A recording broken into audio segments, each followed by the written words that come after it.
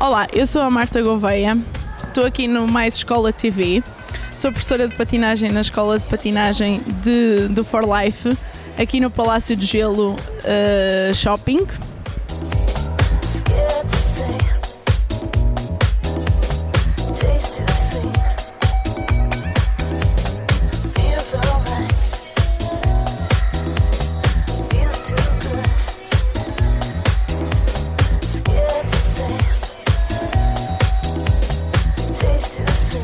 Pista está aberta todo o ano. Uh, existem algumas uh, móveis durante o mês de novembro e dezembro em que depois fecham. Esta é a única que está aberta todo dia. Temos um horário alargado das 11 da manhã às 23 horas. A escola está aberta desde 2008. Eu comecei na patinagem de rodas aos 8 anos. Aos 16 tive o privilégio de começar na patinagem de gelo, onde estou desde então. Claro, comecei como atleta, depois comecei a dar aulas às crianças mais pequenas e atualmente estou a dar aulas aqui no Palácio. A adaptação de, de, rodas para gelo é um bocadinho diferente e hum, difícil no início, porque a patinagem de rodas nós temos o pé todo no chão e trabalhamos muito a articulação do pé e na patinagem de gelo isso não acontece porque a superfície onde nós uh, estamos em contacto com o gelo é muito fina e então a articulação tem que ser bem protegida e trabalhamos só mais com o joelho.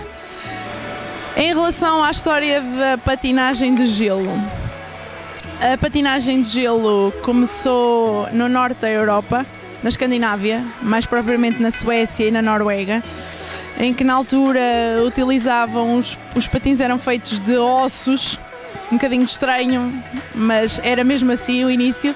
Depois, mais tarde, é que começaram a utilizar o tipo de material para fazer os patins e hoje são feitos de couro bem uh, que proporcionam um, um conforto ao pé completamente diferente. Em relação à patinagem de gelo propriamente dita, é composta por três partes.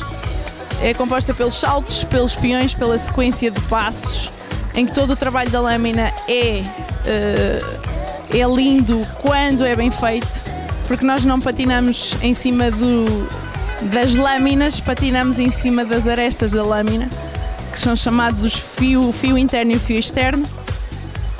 Um, e quem domina, quem domina uh, é lindo de se ver quando é bem feito.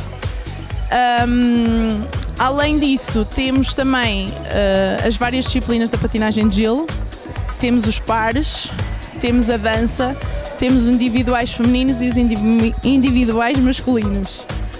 Uh, nós aqui na nossa escola, como devem calcular, não temos o nível internacional como se vê na, na, na televisão, mas uh, tentamos uh, que eles aprendam a base da patinagem, que consigam dominar minimamente os patins e o deslize no gelo.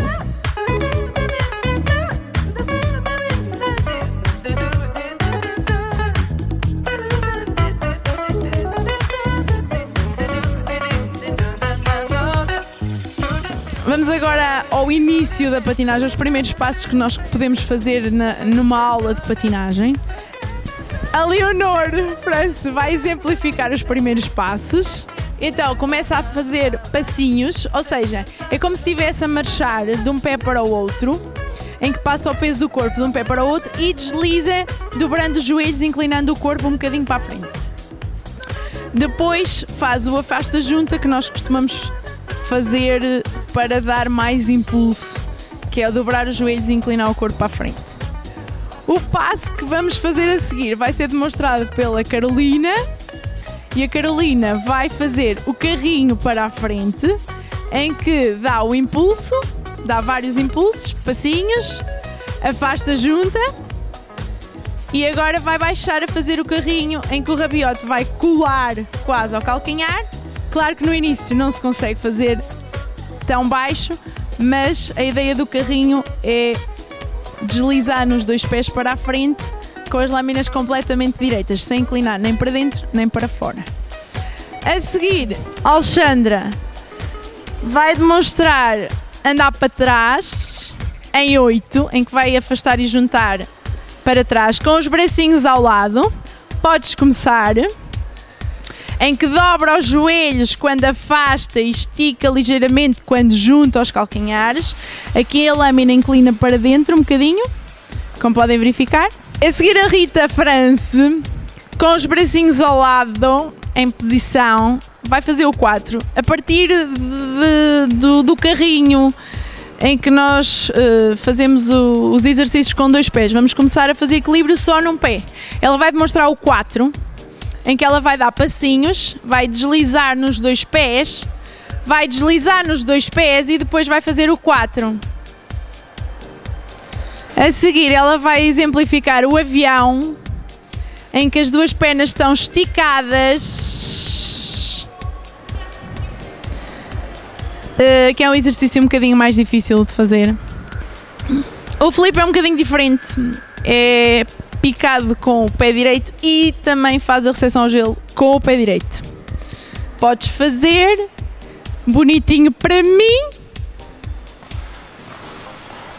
Muito bem, muito bem. O loop, conhecido na patinagem de rodas por Rittberger, uh, é feito de costas. Não há não há uh, a serrilha não pica também no gelo como no Salco é um impulso nos, nos, dois pés em que a saída também é no pé direito o Lutz que a Margarida também vai exemplificar que é parecido com o flip porque também pica com o pé direito só que a saída do gelo é diferente uh, é a, saída, a saída do gelo é em exterior a Carolina, a Leonor e a Alexandra vão exemplificar o peão com os dois pés, que é um peão básico, em que a entrada é de frente, em que vão andar para a frente e deslizar, inclinando as lâminas com os bracinhos ao lado. Vão fazer um caracol no gelo e vão juntar os pés e os braços ao mesmo tempo e fazem depois a saída só num pé ou nos dois, no início até com os dois, peão em baixo, é o peão sentado com um pé, em que a entrada também é de costas e quando vira para a frente, baixa e roda em baixo.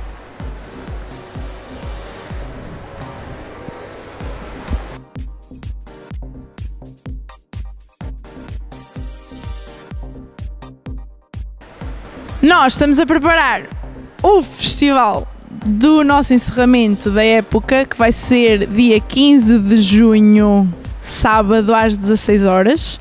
Estão convidados, se quiserem vir, estão mais que convidados, que nós queremos é divulgar a modalidade e queremos cada vez mais, uh, apesar dos de todos os entraves que, que a patinagem tem, queremos é que muita gente pratique esta modalidade e que goste de a praticar porque é muito bonita de se ver.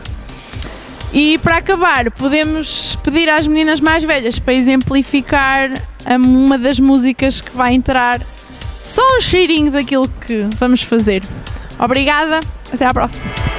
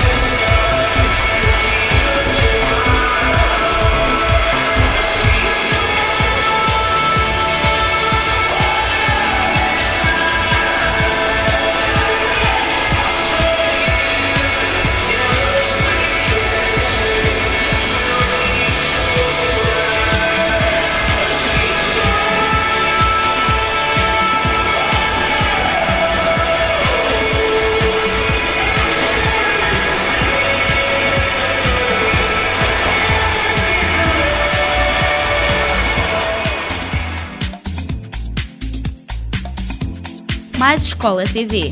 As escolas de Viseu na internet.